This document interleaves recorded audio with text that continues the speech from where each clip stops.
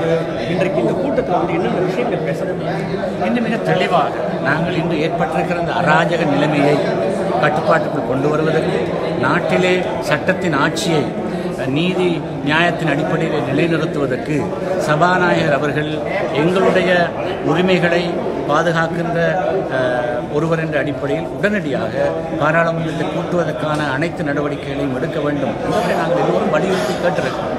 இவ்வாறான ஒரு அரசியலமைப்பு நெருக்கடியை எங்களுடைய ஜனாதிபதி அவர்கள் எங்களுடைய பெருமதியான வாக்குகளின் மூலம் அரசியல் ஆணையை பெற்ற ஜனாதிபதி அவர்கள் வேண்டுமென்றே அரசியலமைப்பை மீறி செய்திருக்கிறார்கள் என்ற ஒரு குற்றச்சாட்டை தான் நாங்கள் எல்லோரும் முன்வைத்திருக்கிறோம். எனவே நடந்த இந்த நடவடிக்கையை நாங்கள் கண்டிக்கிறோம்.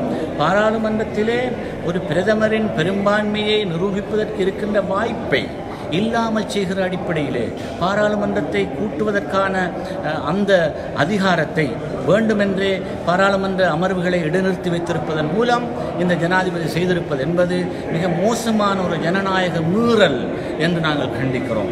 எனவே எங்களுடைய உரிமைகளை பாதுகாக்கின்ற எங்களுடைய சபையின் தலைவர் என்ற அடிப்படையிலே இந்த நாட்டின் சபாநாயகர் கரு ஜெயசூரி அவர்களிடத்தில் ஒரு பாரிய தார்மீக பொறுப்பு மாத்திரமல்ல நீதியின் கடமையில் இருக்கிறது என்பதை நாங்கள் அவருக்கு வலியுறுத்தி இருக்கிறோம். இதை செய்வதன் மூலம் இன்று நாளுக்கு நாள் அதிகரித்து வருகிற இந்த அராஜக நிலைமை மிக விரைவிலே கட்டுப்பாட்டுக்குள் கொண்டு வருவதும் சட்டத்தை முழுங்கை நடைபாட்டுகின்ற நிலைப்பாடும் ஏற்படுவதற்கு அவர் வழிகோல வேண்டும் என்று நாங்கள் எதிர்பார்க்கிறோம்.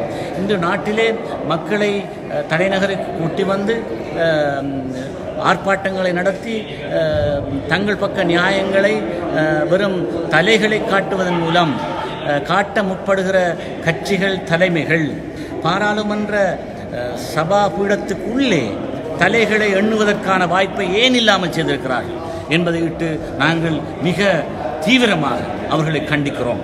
எனவே இந்த நிலையில் இருந்து இந்த நாட்டின் ஜனநாயகத்தை மீட்டுத் தருகின்ற பொறுப்பு இந்த சபாநாயகர் இருக்கிறது என்பதை நாங்கள் வலியுறுத்துகிறோம். இப்போ சபாநாயகர் உங்களுடைய கோரிக்கைகளுக்கு என்ன பதில் கொடுத்தீங்க?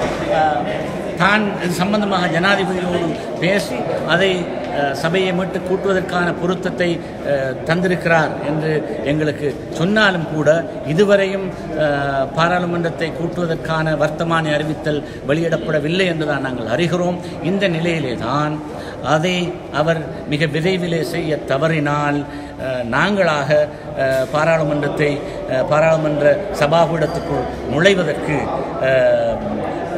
தவற அஹ், தவறமாட்டோம் என்ற அடிப்படையிலே நாங்கள் அவருக்கு எச்சரிக்கை விடுத்திருக்கிறோம். என்னை பொறுத்த மட்டிலே இன்று ஏற்பட்டிருக்கிற அந்த கேவலமான நிலைமை பாராளுமன்ற உறுப்பினர்களின் தலைகளுக்கு மேல் விலை பேசுகிற ஒரு மிக மோசமான கீழ்த்தரமான ஒரு கலாச்சாரத்தை உருவாக்கி வருகிறது.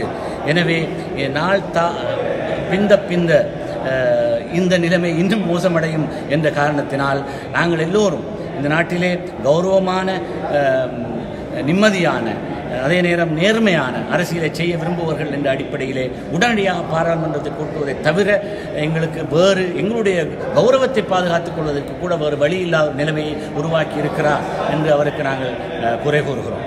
முதலில் ஐந்தாம் தேதி ஒன்று நாடாளுமன்றம் கூட்டப்படுவதாக இருந்தது இப்போது ஏழாம் தேதி என்று சொல்கிறார்கள். அதுவும் ஒரு உறுதிப்படுத்தப்படாத தகவலாக இருந்தது என்ன ஏன் இப்படி தேதிகள் தள்ளி போய் கொண்டே இருக்கின்றன? தேவையான தலைகளை இன்னும் சேகரிக்க முடியவில்லை. இன்னும் கூடுதலான தலைகளுக்கு விலை பேசிக் கொண்டிருக்கிறார்கள் எனவே தான் காலத்தை தாமதித்துக் கொண்டு போகிறார்கள் என்பதுதான் இதன் யதார்த்தம். எனவே தான் இந்த எங்களுடைய தலைகளுக்கு மேல் விலை பேசுகிற இந்த கலாச்சாரத்துக்கு முடிவு கொண்டு வர வேண்டும். எங்களுடைய நேர்மையை எங்களுடைய அரசியல் உரிமையை பாதுகாத்து தர வேண்டும் என்று நாங்கள் சபாநாயகரை வேண்டுகிறோம். முஸ்லீம் காங்கிரஸை பொறுத்த வரைக்கும் யாரை ஆதரிப்பது என்ற முடிவை நீங்கள் எடுத்துக்கிறீங்க நாங்கள் தற்போது எங்களுடைய நிலைப்பாட்டிலே இன்னும் மாற்றங்களை கொண்டு வரவில்லை. மாற்றங்களை கொண்டு வரக்கான சூழல் வரவும் இல்லை. இந்த சட்டபூர்வமான ஒரு ஒரு பிரதமரை உருவாக்குகிற உரிமை பாராளுமன்ற அமர்வுகளிலே மாத்திரம்தான் இருக்கிறது. பாராளுமன்றத்தின் என்ன சட்டத்தை மீறி செய்யப்பட்ட இந்த விஷயத்தை அவர்கள் சட்டபூர்வமான விஷயமாக மாற்றுவதற்கு பாராளுமன்ற அமர்வுகளை கூட்டாமல் காரம் தாமதிப்பதன் மூலம் இன்னும் சட்டபூர்வமற்ற ஒரு பிரதமராகத்தான் நியமிக்கப்பட்ட பிரதமர் இருந்து கொண்டிருக்கிறார் என்பதுதான் யதார்த்தம். எனவே இதை மாற்ற வேண்டும். இதை மாற்றி தருவதற்கு பாராளுமன்ற அமர்வுகளை கூட்ட வேண்டும். அந்த சந்தர்ப்பத்திலே முஸ்லிம் காங்கிரஸ் தன்னுடைய நிலைப்பாட்டை மிக தெளிவாக இல்ல இப்போ இதுவரைக்கும் எங்களுடைய நிலைப்பாட்டில் எந்த மாற்றமே இல்லை இல்லைன்னா நீங்கள் இன்னும் ரணிலையும் ஐக்கிய தேசிய கட்சியும் ஆதரிக்கிறீர்கள் என்ன பண்ண முடியுமா? அதில் மாற்றமில்லை என்பது மிக தெளிவான விஷயம். இப்போது எதிர்த்தரப்பை பொறுத்த வரைக்கும் ஸ்ரீலங்கா முஸ்லீம் காங்கிரஸ் உள்ளிட்ட பல கட்சிகளுடைய எம்பிக்களை தொடர்ந்து தன் பக்கம் ஈர்க்க முயற்சி கொண்டு முயற்சித்துக் கொண்டிருக்கிறது. அந்த சூழலில் தலைமைகள் ஒத்து வராவிட்டால் கூட உறுப்பினர்களை மட்டுமாவது ஈர்க்கக்கூடும் என்ற ஒரு பேச்சும் இருக்கிறது. நீங்க இந்த சூழலை இது நடக்கும் எனக்கு நம்பிக்கை இருக்கிறது எங்களுடைய உறுப்பினர்கள் யாரும் வெளியே போக மாட்டார்கள். அவர்கள் தலைவரோடு இருந்துதான் இதற்கு தீர்வு காண வேண்டும் என்பதிலே தீர்க்க தீர்க்கமாக இருக்கிறார்கள். நாங்கள் அதை தொடர்ந்து ஒருமித்த கருத்தோடு இருந்து கொண்டு இந்த விஷயத்தை நாங்கள் மிக தீவிரமாக கண்காணித்து கொண்டு வருகிறோம். இதிலே ஒரு நீதியும் நியாயமும் நிலைக்கும் என்பதிலே நம்பிக்கையோடு இருக்கிறோம். மிக்க நன்றி. இப்போது நம்மோடு பேசிய ஸ்ரீலங்கா மக்கள் காங்கிரஸின் தலைவர் ரவூப் ஹக்கீம் தாங்கள் தொடர்ந்து ரணிலுடனும் ஐக்கிய தேசிய கட்சியுடனும் இருப்பதாக தெரிவித்திருக்கிறார். நாடாளுமன்ற வளாகத்திலிருந்து ஜெயக்குமாருடன் முரளிதரன்.